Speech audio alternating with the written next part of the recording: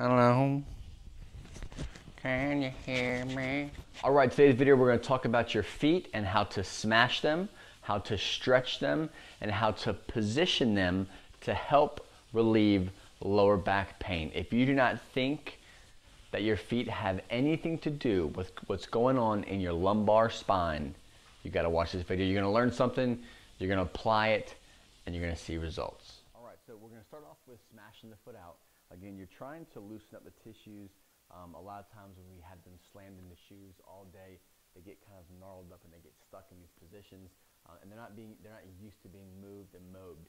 Um, what we're going to use is a tennis ball. Um, it's way better using in this technique here. I have videos on here that you can look at that have to do with lacrosse balls and when and why to use those. But here, um, a video uh, made by a guy named Cairo Strength. You can check him out his YouTube channel. It's not his name, but his YouTube channel is Cairo Strength. Um, he uses a tennis ball, and there's a very specific reason why. Because what we're doing is we're trying to get the tissues in the foot to just mold over this ball and allow a softer um, tool to allow it to do it comfortably. You don't want it to be so sharp or so painful that you can't really relax, which is why we're using a tennis ball. Tennis ball or a racket ball will work fine. So the way I do it is I'll start right around my toes. Um, I call these the pads of your foot or the balls of your feet. Um, what I'll do is I'll start under my toes and I'll put my complete body weight onto that area and allow my, my foot to flatten that ball.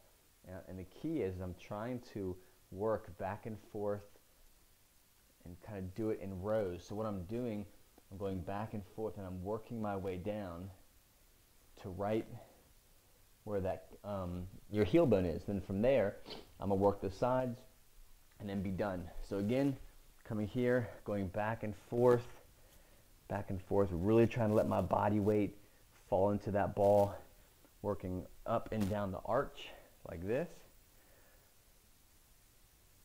and on the sides as well. And I'll show you a little bit closer up now. And so the key is we're trying to loosen up all the tissue on the bottom of the foot using the tennis ball. Um, the way again I do it is going back and forth, up and down, and allowing. Don't worry about hurting your foot um, unless you have super super tight, super sensitive feet. Um, this should be okay, even with like a racket ball, tennis ball. Here's what I'm using. Um, pushing down hard and allowing that ball to really smash and knead all of those tissues out. All right, so we've smashed the tissues out using a tennis ball or racquetball. Now we're going to work on stretching the tissues on the bottom of the foot. Okay, because remember, tissues go from the, your toes all the way to the back of your head. So you have to think of it as getting as much movement in this area, starting with your feet and then working your way up. So from here, we're going to work on extension in your toes. Okay, so what that's to look like, a lot of times what people do wrong is when they're going into this position and they're coming back because they don't have that extension in their toes, they bring their heels out and then they sit down. Okay, so all this is getting stretched out, but your big toe is still getting locked up. So what you're to do is I'm to sit back onto my toes. I'll show you a side picture here. Um, keeping my toes nice and straight, keeping my heel aligned with the floor and keep it nice and straight as well. And I'm to sit back, keeping my heels either coming together or at least nice and straight with the rest of my body. Okay, and I'll kind of pump. I'll go back and forth. I'll kind of come down here 10 to 15 seconds, making sure that big toe is getting stretched out. Coming up, big toes getting stretched out. Um, so in theory, what I'm doing is I'm trying to mimic the toe off portion of a walk. If you don't have this, if you're not able to get to a point where as you're walking, you have your toe off and you're able to get that kind of um, extension in, into your toes, you might want to look at building some of that range of motion. So that's what you're working on with that stretch there. All right, so you've smashed it, you've stretched it. Now let's activate. Let's learn how to use the feet. Now that the tissues are kind of loosened up, the joints are kind of loosened up, we're going to activate them in practice. This is not going to be fixed in one day. It's something that you have to practice every single day. So what you're going to do, the way I structure when it comes to re organizing my feet is I start with my toes. So I'll curl them back, okay, so that my the balls of my feet the pads here, and the pads here are the only thing that's touching along with the outside of my foot. So once I have that, I'll drop my bit my small toes and I'll slowly bring my other toes down and try to have them spaced out evenly, okay? So it's not gonna look pretty for everybody, but the key is, is to have your toes as stretched and as spaced as possible. From there, what I try to think about is how I'm actually using the muscles that make up the arch. So the way I kind of coach it is think of this as a six pack. This is the six pack of your foot or the stomach of your foot.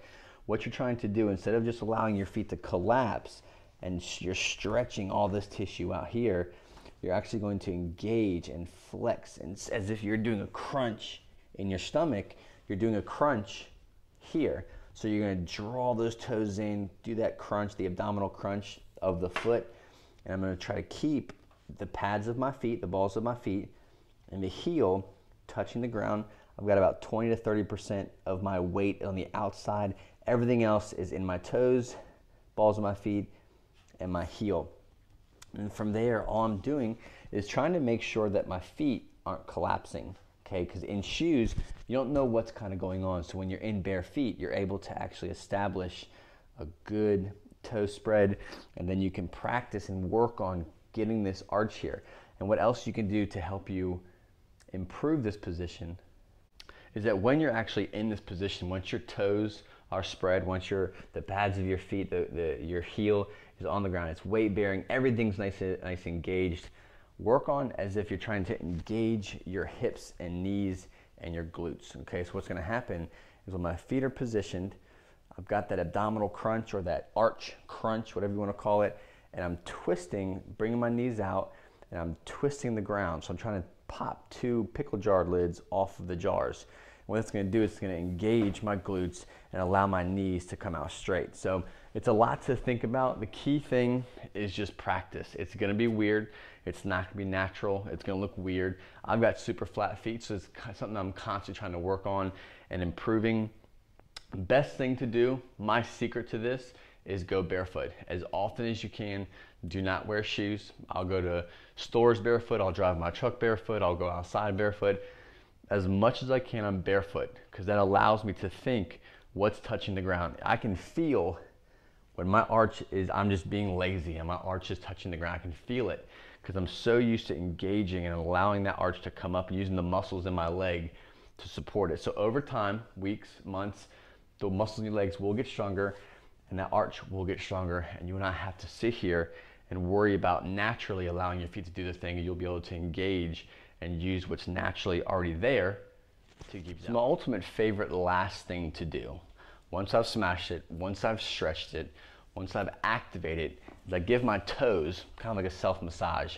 Um, and what I do is my fingers, I'll take my fingers and I'll put it in between each, each toe. So here, here, and I'll just use the tips of my fingers at first, here, and there and I'll work this. Sometimes this is all you can do, okay? Um, as you get better, as your feet kind of a little bit um, more resilient and they become more flexible and mobile, you can get deeper in there. Eventually, what you're gonna wanna do is take it through some end ranges of motion, okay? Work your toes around, get that space. Um, at first, this might have be a lot of pressure on the inside walls of your toes, totally natural. Um, don't expect to be able to do a bunch of crazy stuff at first, but this is what you want to do. Sometimes just coming in here and putting your fingers in between your toes and just hanging out and just hold this and, and squeeze your foot together like, the, or squeeze your hand as if you're trying to grip your foot and just allow those tissues in those joints to relax. And you can kind of do some soft massaging, doing circles. This is going to help with your toe spread, which is very important with walking, with standing, with, with using your feet and engaging with your everyday life is how much control you have over your toes and how engaged they are with what you're doing. Okay, so this is a super little bonus little thing that I like to do. Again, you're watching TV, just shove your fingers in between your toes, hang out. Don't be crazy as far as thinking you got to go too too intense. Um, but if you can get your feet all the way in there, really try to work it around and try to just mob and move the joints of your foot, and you'll, you'll you're gonna notice a difference. I promise you, especially after the tissue release, after the stretching, after the activating. This is a good finisher. So again, guys, thank you so much for watching. I appreciate everything you do. This is for you. Do me a big favor if it has helped you any. If you got one little ounce of benefit from this video, share it, like it, leave me a comment. This is very basic stuff. I try not to make it too complicated, so if it was, I'm sorry. If it's too simple, I'm sorry. This is not the channel for you. But if it is, subscribe, check out the website, fitnessforbackpain.com. Tons of stuff coming out. Um, that's a wrap.